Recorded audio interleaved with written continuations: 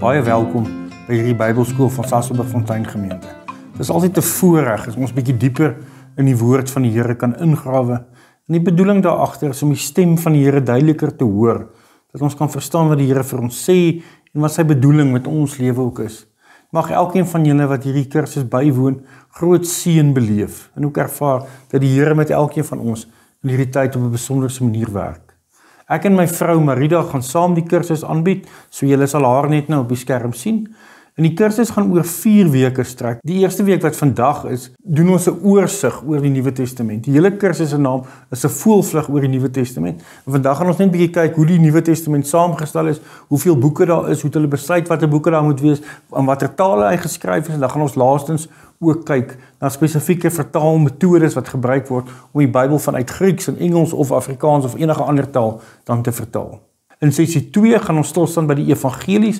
Evangelies beteken letterlik goeie nuus, die verhaal van Jesus Christus op aarde. Daar is 4 evangelies en ons gaan 'n bietjie oorsigtelik na almal kyk met 'n spesifieke fokus op die Johannes Evangelie. Dis week 2. Week 3 gaan ons kyk na die briewe wat geskryf is. Paulus wat 13 briewe geskryf het in die 7 algemene briewe wat geskryf is.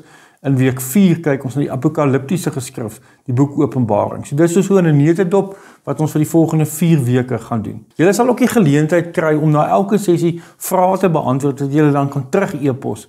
En as jy al 4 die sessies se vrae beantwoord het, sal jy na die einde van die tyd 'n Sasolburg Fontein Gemeente Bybelskool sertifikaat kry. So jy kan dit op een van twee maniere doen. Jy kan net die video's kyk of jy kan die video's kyk en na die tyd dan die vrae voltooi om te kwalifiseer vir jou sertifikaat. Ek wil almal van julle dan uitnooi om deel te wees van hierdie opwindende 4 week reis deur die Nuwe Testament.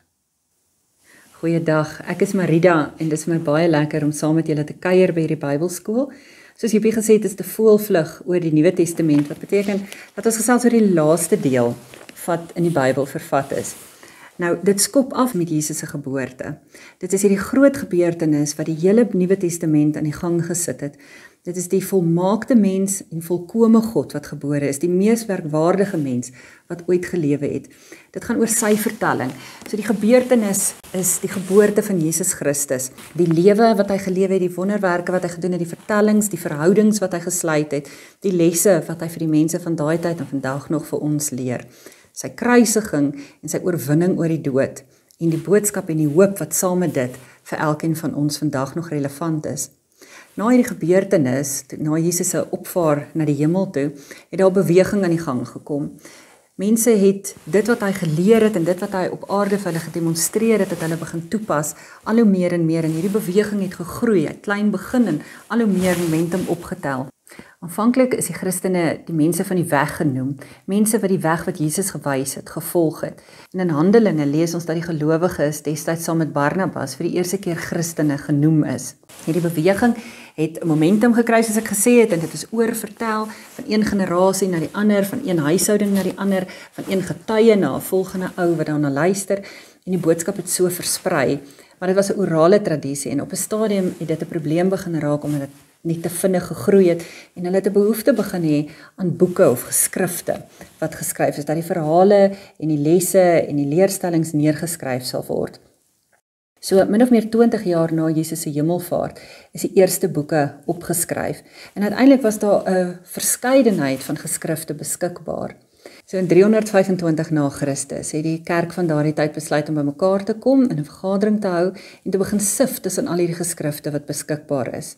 Teen 381 na Christus het hulle dit uh, finaal uh, bymekaar gesit uh, en by Konstantinopel bymekaar gekom. Al twee hierdie stede is in vandag se Turkye. En dit is 'n strategiese deel van die wêreld want dit is waar Klein-Asië en Macedonië bymekaar gekom het. So dit was moontlik vir die Christene van van oral oor om bymekaar te kom en saam te gesels hieroor.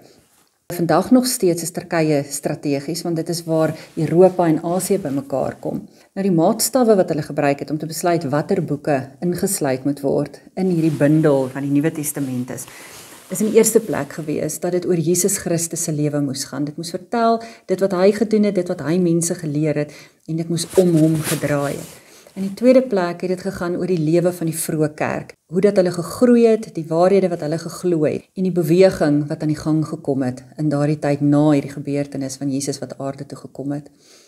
In die derde plek moes dit geskryf wees deur iemand wat Jesus self geken het, self 'n ooggetuie was of wat dit eerstens oorvertel het aan die skrywer. Dit het beteken dat die boeke nie later geskryf kon wees as die eerste eeu na die hemelvaart nie.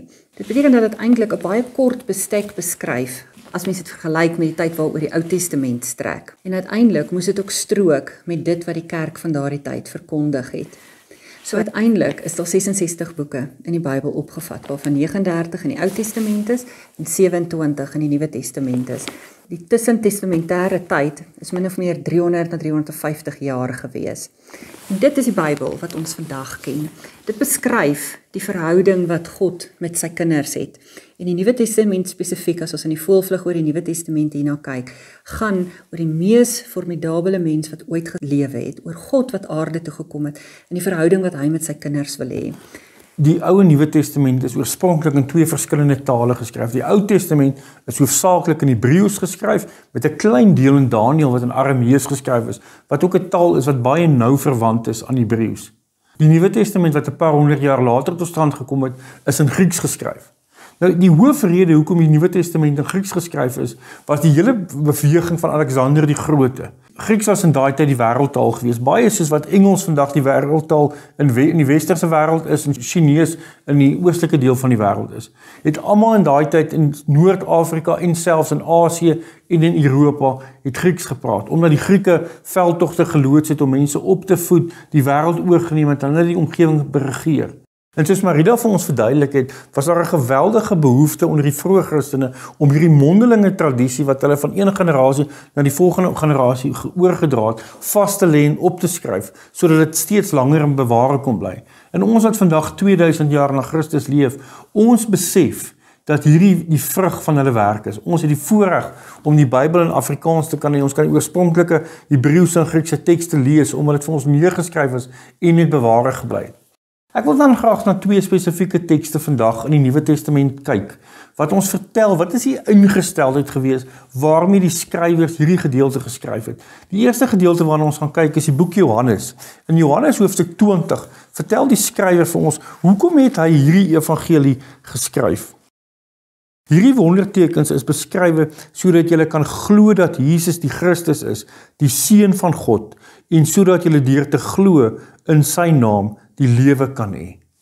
Hoor julle hierdie evangelie is neergeskryf en die wondertekens van Jesus is neergeskryf sodat die mense seker kan wees dat Jesus daai fisiese persoon wat geleef het, dat hy meer as net 'n mens is. Hy was die Christus, die Messias wat lank verwag is. Baie mense stem saam dat daar 'n historiese Jesus was wat in Palestina geleef het. Maar die Bybel sê vir ons, die Johannes Evangelie sê vir ons, is veel meer as dit. Hierdie Jesus was die verlosser gewees. Hy is die seun van God. En dan gaan hy verder deur te sê as ons in hom glo, kry ons die lewe.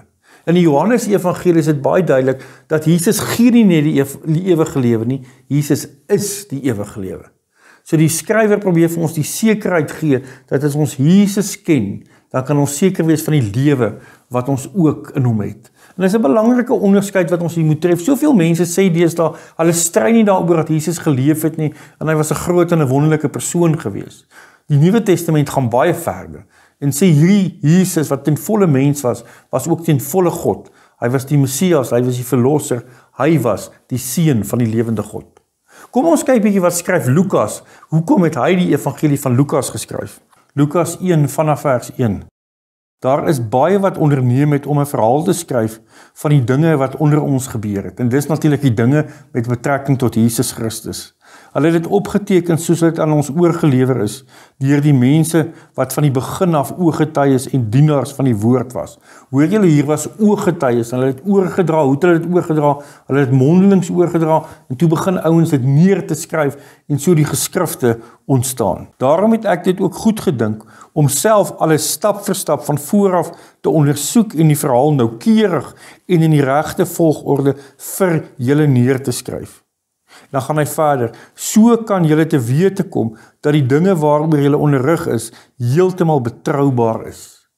Is dit nie wonderlik wat hy sê dat ons kan seker wees oor die dinge wat ons onderrig is betroubaar is. Dit wat die kinders oor Jesus geleer het, dit wat ons vandag nog leer, dit is 'n betroubare woord. En dit was die rede hoekom Lukas en die rede hoekom Johannes dit geskryf het. En mag dit regtig so wees as ons na hierdie Bybelskool kyk, dat ons sal besef ons werk met die woorde van die lewende God. Ons werk met sy liefde in ons lewe. So as ons kyk na die dele van die Nuwe Testament, dan is dit in eerste plek geskiedkundige geskrifte. Dis die evangelies, die vier evangelies wat ons ken, Matteus, Markus, Lukas en Johannes, wat Jesus se verhaal vertel van sy geboorte tot aan die einde van sy lewe. En dan kry ons Handelinge wat die verhaal verder vertel van Jesus se hemelvaart af en die vroeë kerk en hoe dat dit ontstaan het. Ons lees ook van die uitstorting van die Heilige Gees in Handelinge en van Petrus en Paulus se werk. Petrus is die apostel wat gewerk het onder die Joodse Christene en Paulus is die apostel wat gewerk het onder die heidene. Na die geskiedkundige geskrifte kry ons die briewe. Die eerste 13 is Paulus se briewe. Dis van Romeine tot Filemon en dit is gesorteer van lank na kort.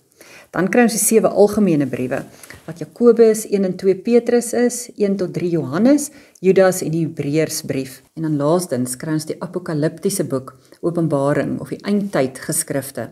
Daar's ook 'n deel in 2 Petrus opgeskryf daaroor wat ons ook as apokalipties kan beskryf. Ons het nou al verskeie kere genoem dat die Nuwe Testament oorspronklik in Grieks geskryf is. 'n tipe Grieks wat eintlik al vandag nie meer gepraat word nie. Maar die uitdaging wat daar is om hierdie Grieks te vat en dit dan vir mense verstaanbaar te maak in hulle alledaagse lewe, vir mense verstaanbaar te maak in Afrikaans. Ons weet dat die eerste Afrikaanse Bybel het in 1933 die lig gesien.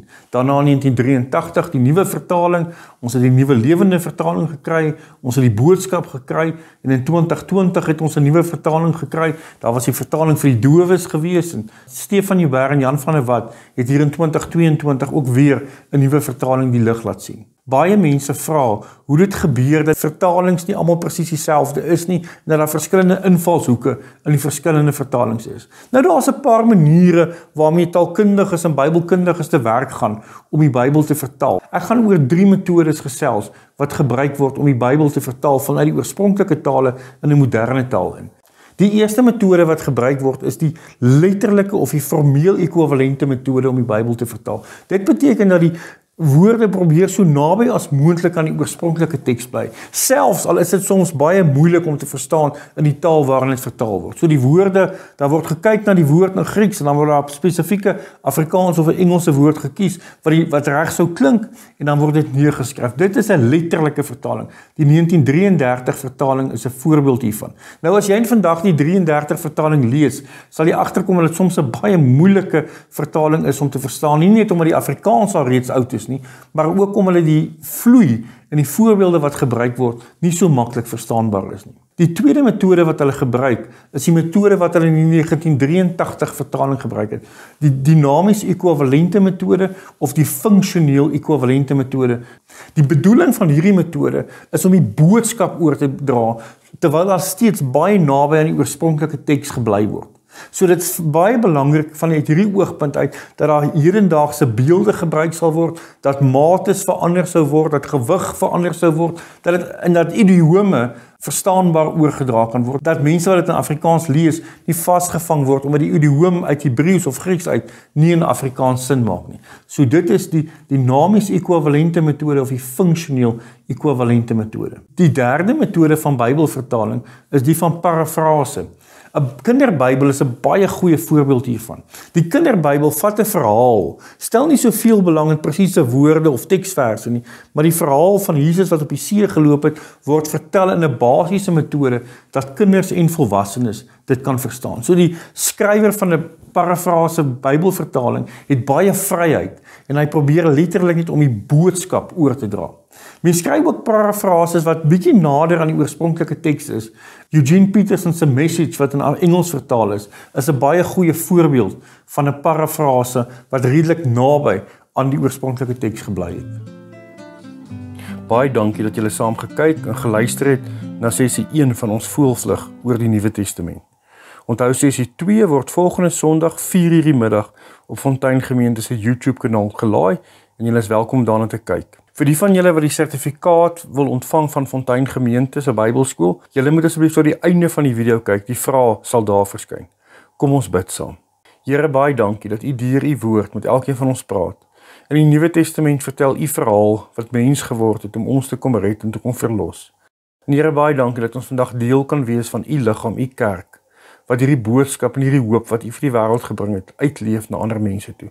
En mag ons regtig ook Here U al hoe beter leer ken, hoe meer tyd ons in U woord spandeer. Amen. Daar sal 'n nou vraag op die skerm verskyn wat jy op jou eie tyd skriftelik kan beantwoord en vir ons kan terug e-pos. Die e-posadres sal ook op die skerm wees.